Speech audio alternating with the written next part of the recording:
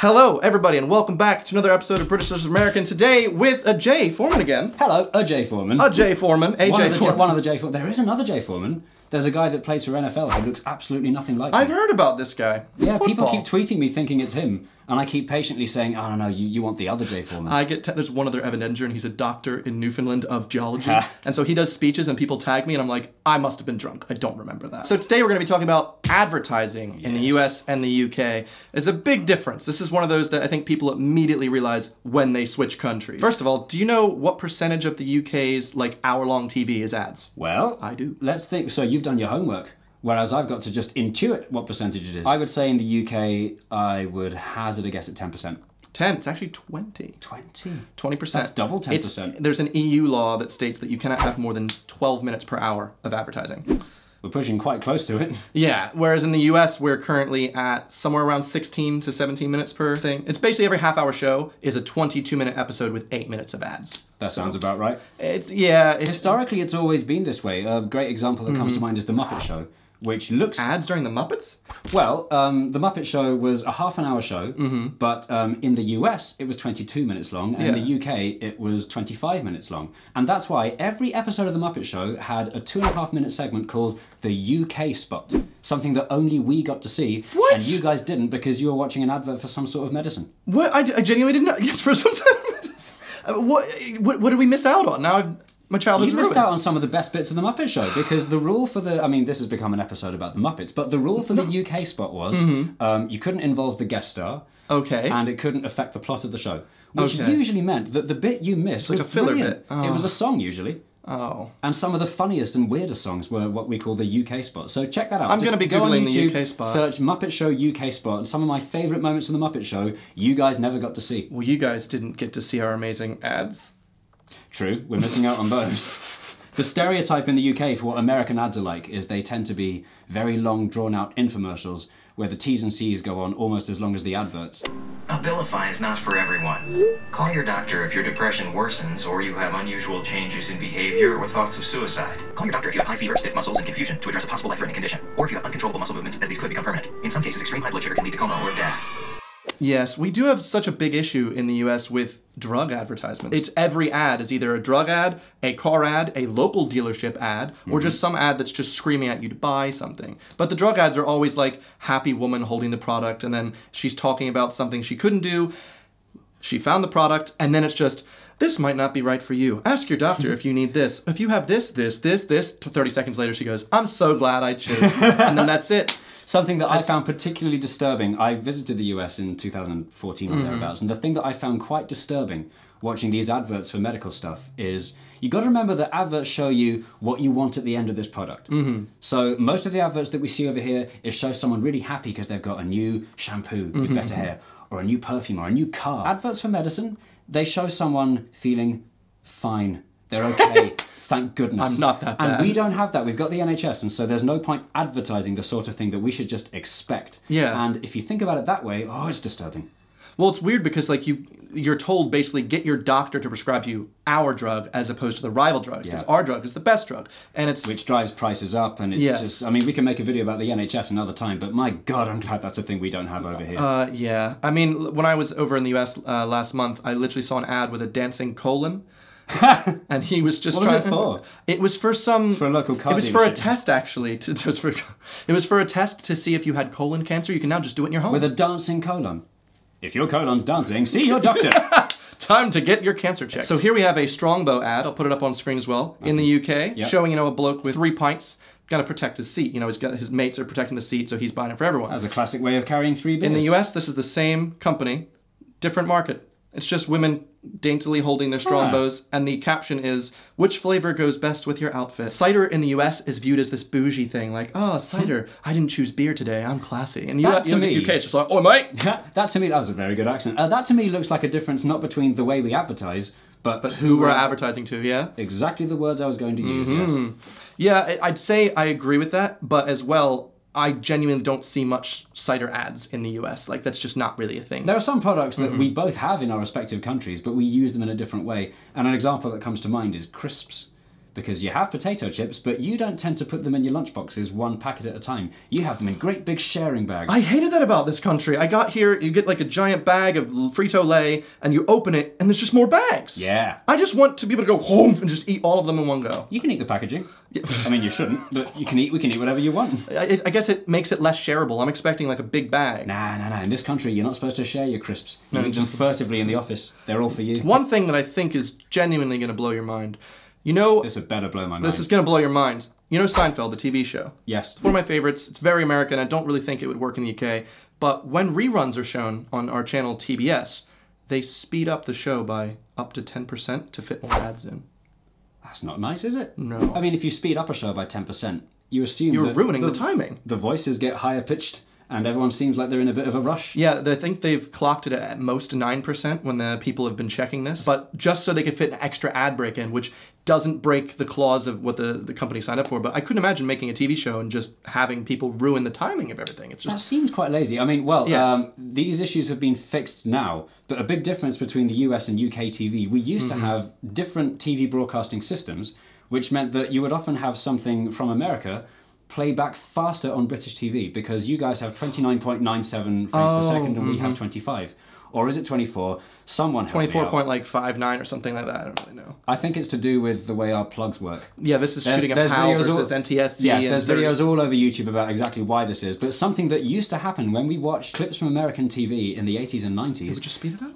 Uh, no, worse than that, you would be able to tell that it was originally from US TV because the screen looked a bit yellow and a bit washed out and a bit weird and blurry, and that's because you tried to convert the frame rate for British TV. It doesn't happen anymore, but it used to be Whoa. that American TV looked kind of weird and a bit warped. And that's why everyone didn't like it over here, I guess. You probably That might have thought everything was it, The yeah. Simpsons. You never know. Well, genuinely, programs that were shot on film Mm-hmm. have lasted longer and work better to be rerun Than than programs that were sh- shot on tape. Oh, this is just something I noticed when I first moved here. In the US, we love our car ads. The car ads are very much like, I'm driving this car and it's freaking awesome. This is the best car. You need to buy this car. Come down to the dealership, buy the car. In the UK, when I saw like car ads at the cinema, it would just be B-roll shots of like a tunnel, a guy driving, just a little bit of a narration, and then it doesn't even tell you to buy the car at the end. It's just like, it's a cool car.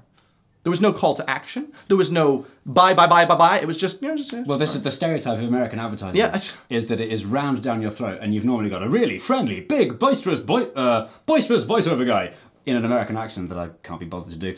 But we don't have that. We don't want it. I, I it felt much more polite, I guess. I'm just so used to ads being like telling me I need this, and the UK they're just like it'd be cool if you had this, but Yeah, we uh, we, don't prefer we prefer to be nudged than Yeah. to be told what to do. yeah. But I think that's that's what I like more about UK ads is is that bit of a less obtrusiveness feeling. Well, I think probably one of the very biggest differences between US advertising and UK advertising Mm-hmm. is the blurriness between the I'm going to use the C word between the content Mm-hmm. and the adverts. So something that Ah. for example would happen in America, you would watch for example the Flintstones Mm-hmm. And then just before the end of the episode Fred Flintstone Mm-hmm. would turn to the camera and say, "By the way kids, smoke Winston cigarettes because they taste good." The Flintstone has been brought to you by Winston, America's best-selling, best-tasting filter cigarette. It still tastes good like a cigarette should. We wouldn't do that over here. You don't do that. You've never done that.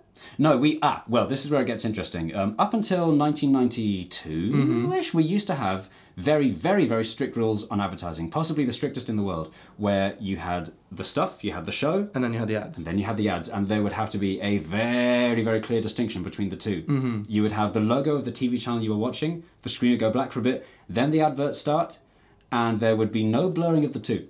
They relaxed those laws a little bit, so you were, you were from the mid 90s allowed to say, this particular program is brought to you by this particular brand. Yeah. Which, you know, to We us- have that in the US a lot. You've had that for decades, but when that first came along in the 90s, I remember seeing it and going, "Wha- what the, what the hell? That's very American and not welcome. But Oh. it's very normal now. And something else that we also were very strictly against until quite recently was product placement. What we have in the Oh, UK all now. over in the US. Uh, yeah, well, that's the thing that you guys are famous for. We used to resist it quite vociferously. That's a lovely word. Quite vociferously vociferously. in the UK until recently. But what you have now is if there is product placement in your show, you have to have a little P appear in the bottom corner before the show starts so that you know something Watch in the show is going to be advertised. Who's like looking for the this ads? brand new iPhone available now from your local Apple store. Mmm, iPhone, delicious. That's yeah. I I still feel like I mean that's how they're trying to do it in the UK with uh, YouTube as well. In terms of you have to say if it, there's promoted products. I think is a good idea. You should say it, you're promoting something. But I never knew the P thing. Well, this is an interesting thing about YouTube. Um, I, not to plug my own stuff too much, but basically, as far as I know, I'm one of the very, very few YouTubers that subscribes to the pre 1990 something model where the advertising and the content you came for are very separate. That's why if you look at my channel, you've got the hi guys, you've got the um, the thing, you've got Yeah. the video, the screen will then go black, And and then then, the advert will start. I mean, I like that, but then again, I guess uh, so. There's so many advertisers nowadays that are begging people to be like, "Can you put the ad in the beginning?" and "Can you Oh, no. give a heartwarming story about our company?" And it's like, no, that No, I, yes, I love Candy Crush so much. People know, people watching, they know full well the difference Yeah. between what they came to see and, And what- words yeah. that we are saying under duress. So I think it's much better and more honest Mm-hmm. to just declare this is an advert, I am being forced to say this. But what I do on my channel, if you want to go over and check it out, is I make the adverts very silly and funny. So, so it makes you worth adverts. watching the ad because it's more fun. I think you and uh, Drew Gooden, who's an American YouTuber, he does the same thing. Like after he's done his video, he makes a sketch of the ad that's very much still in the same style. Yeah. But there is no black. It's just. Usually he interrupts himself from the outro to be Oh, like, I've seen these, yeah. Oh, yeah. And he's like, oh, by the way, have you know NordVPN? Yeah, something like that. Uh, but I like that style because it's it's Other. VPNs are available. Yeah. Do you know how PBS advertises? PBS, as far as I know, is the um, publicly funded educational network in the US. And Mm-hmm. We've got um, Arthur. You know, we've got a lot of fun shows that are teaching kids stuff. But it's PBS is where Sesame Street started. Isn't Yep, it? yep. That's where it still is in the US, yes, I believe. that's where it still. Um, do I know how it's funded? I assume from your question that it's not funded in the normal way, and that it's something you pay for. Well, no, no. PBS is one of the very few channels that just comes on every TV without cable. So when you get a TV in the Oh. U.S., you actually get you know PBS and then three news channels. I think it's like channel two, channel four, and channel 3 Mm-hmm. maybe channel ten if you're lucky. And so you get to have PBS, which is you know kids channel for education. It's funded by the government, but at the end slash in the middle of every episode of like Arthur or whatever you're watching, you'll be like, this episode of Arthur is brought to you by Juicy Juice, and it's like the voice of Arthur saying it. Or same with Family Hmm. they Guy. still stuff. do that even now. Yeah. And I, I grew up like that. Like, so I'm so used to it. It's just, it's natural. But now that I think about it, I'm like, I don't know if I really like that. But uh, Well, over here, it's something that we've always found to be a bit vulgar, and especially on kids' TV. Mm-hmm. you guys don't allow advertisements to kids that have sugar in it. Uh, that's a very new thing. Um, I remember Blows my up, mind. We had all sorts of adverts for you know things that were disgustingly bad for you when I was a kid, but it's something incredibly recently. I think it's just in the last five minutes they've introduced this legislation that you can't have sugary products on Mm. kids' TV, and it, that is a good thing. I think that's a brilliant thing because growing up, I was just just shoveled all these different ads for like different cereals and different candies and try a baby bottle pop, you know, that type of thing. Uh, Whereas now, I guess if I was a kid watching a kid show, I wouldn't expect sugary cereals to be promoted to me. That's I don't know. That's a good law. I wish the U.S. had that because that's protecting. Your time kids. will come. I think it will happen. When I Unless you've got sugar people lobbying the government, which is, what they're probably a thing. doing. Is there any other type of thing that kids aren't allowed to be advertised to? Um, um, cocaine, heroin, burglary. Darn. Burglary. Yeah. A YouTuber was under fire because I think they worked with a product that was uh, mostly sugar, and because their audience was mostly it kids, sugar? it was it was just a bag of sugar. Do you remember any ad jingles? I don't growing know up? all the ad jingles. but Cocoa Pops used to have the song, We'd rather have a bowl of Cocoa Pops. But here's a good sound. Here's, here's the thing that's confusing though. Hmm. They don't quite explain enough in that jingle. You'd rather have a bowl of Cocoa Pops than, than what? It depends. I mean, if someone says to me, hey, would you like this cucumber that's been in the cupboard for several weeks I'd and it's gone off and there's steam coming off it, I'd rather have a bowl of Cocoa Pops. Even a bowl of Cocoa Pops is better than that. Is that what they meant? What's annoying is there were so many different ads with jingles in my area. Not all were just big companies. They were localized ads. Like, you This brings us to another discussion. Localized Local. TV. Well, Ah. now British TV, by and large, is the same across the country. The only time that you get regional variation, usually nowadays, is the news. So, at the for example, at the end of BBC News at half six, they'll say, "And now we can join the news teams in your area." And then you'll get um, you'll get a local news bulletin, which is well, I say local, it's regional. It'll normally be a big section of the country that's got no more than about three million people. London is by far the most populated Yeah. of all of the, the different regions. It didn't used to be this way. Right up until the mid 90s, ITV was not a channel, it was a network of regional channels. And they would, by coincidence, usually play the same programs up and down the country, but there'd be quite a lot of regional variation. There'd be a lot of locally made programs about local things. But that's disappeared because TV is really expensive to make, and so Yeah. no one has the budget anymore to make local content, and that is why Nowadays, the only time that you have local or regional TV Mm-hmm. is in the news or in the, you know, in the case of channels like London Live TV, which has literally hundreds of viewers. Out of curiosity, then, do you not have local ads for each area? Like Liverpool has ads that are targeting Liverpudlians. As far as I know, and feel free to correct me on this because I might be wrong, but I think no. Oh my! You like, used to, but you certainly don't now. because where I'm from, like ads are so incredibly specific. I'll have an ad for a dealership, Matt Blatt's car dealership in Glassboro, New Jersey, or there'll be an ad just for the mattress warehouse down the road that's specifically to our area. No, we have, as far as I know, we have nothing like that. I always used to find it really strange on American film and TV. Mm-hmm. Every time you see the news uh, being talked about in a film or TV show, it's the very local news, and they say Yeah. here in the little tiny city of Little Upper Watcher Sport, whatever the name of the town is, I live there. Has its own TV station, and we don't have that. But something that we do have, curiously, we've stolen a phrase from you. We keep on saying on national TV. Yeah. Can you believe this is happening on national TV? And that's always annoyed me because in the UK, Everything's national. Exactly, all TV is Oh. national TV, but we still use that term because it makes it sound more grandiose. I wouldn't be surprised to find someone saying coast to coast when talking about British TV just because it sounds about right. Yeah, I get- it, it's because like we would watch the news and it would be the Philadelphia area news, but Yeah. sometimes you'd also be syndicated all across the rest of the U.S. if it was a big, big news story. So I guess that makes sense. But Whereas we, over here, the vast, vast, vast majority of TV is coast to coast. I just feel like if I lived in like Edinburgh, I wouldn't give a crap what was going down in London. You know, Well, exactly. That's why you have at the end of the national news, you the local lo- news. you have the Oh, local okay, news. okay, that makes way more sense. So that way, it's more.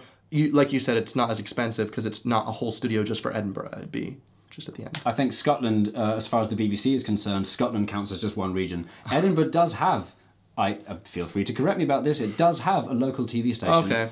But it has even fewer viewers than London Live TV. Do you know what the Calgon song is? Calgon? Is it the song about washing machines live longer with Calgon? Yeah. Then I- yes. I don't know. I that's just a British ad. We always had. Is that it? Yeah, I, that was it. I asked people downstairs like what British ads were that they would know the jingles to. Of all the iconic British advertising from the last 50 something years of advertising on British TV, and that's the one thing we've come up with washing machines live longer with Calgon. Ours would just be jingles that had phone numbers in them. So I I literally have like 800 588 2300 Empire. Oh, we have that. Today. Oh, you have Empire? 0891 50 50 50. Wait, In the comment section, tell him what that is. wait. Oh my gosh, wait. You guys have a. We have Safelite Repair, Safelite Replace. And you guys have a different version of this. Um, auto glass repair, auto glass replace. It's the same I exact lived, in, jingle. I, I lived in France 10 years ago, and they have Carglass repair, Carglass remplace. I love that. That's my favorite part of this whole thing now. It's just that. You ever seen the- um, the adverts regional- for Haribo? No. So over here it goes, kids and grown-ups love it so, the happy world of Haribo. But if you look carefully on the packaging, you've got a similar jingle that rhymes in lots of different languages around Europe. Oh, I did their research. Haribo, oh. c'est beau la vie pour les grands et les petits. You can speak French? Oui. I thought you were going to say, no, but I really like the advertising of Haribo. I'm, I'm pretending to speak French. That was all just gibberish. As far as you're concerned, it's French. That about does it for this video on the advertising in the UK and the US. If we missed out on anything that you thought was interesting, please be sure to leave a comment or correct us if we made anything Oh, we wrong. missed out loads. Oh boy. Uh, if you want, you can click a, another video to watch here, or please be sure to check uh, Jay's channel out in the description. You want Oh to give yes, yourself please. a quick Thank sell? you. Please do that. Thank you very much. Oh, Sell. Uh, my channel is called Jay Foreman. I make uh, very, very silly educational videos about geography, politics, and cities and town planning and so on. So- Subscribe, and I've also subscribe, got very subscribe. silly adverts at the end of my videos. And there's a current series called Map Men with Map TV's Men. Mark Cooper Jones. So please do check that out. Thank you. Anyway, thank you guys for watching. I'll see you guys next week. Goodbye.